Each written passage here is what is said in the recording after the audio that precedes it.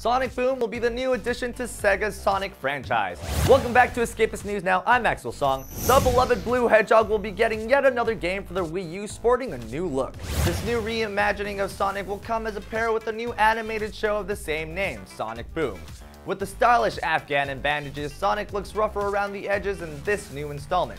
With this team of the usual suspects, Tails, Knuckles, and Amy Rose, they will explore a new undiscovered world in the third-person explorative adventure game. It looks like this game will be a mix of the usual rail racing and Sonic games with platform puzzle and battle elements.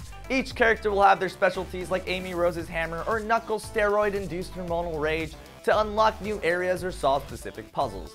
They also introduced a new tether system which allows for interaction with environmental elements.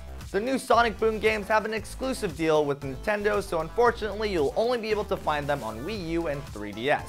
Sega has also released a trailer for the new TV animated show that you can check out in the link below. So, are you excited for this new revamped version of Sonic? Does this new game interest you at all? Do you even own a Wii U? Leave a comment below and stick with us here at The Escapist for more gaming news.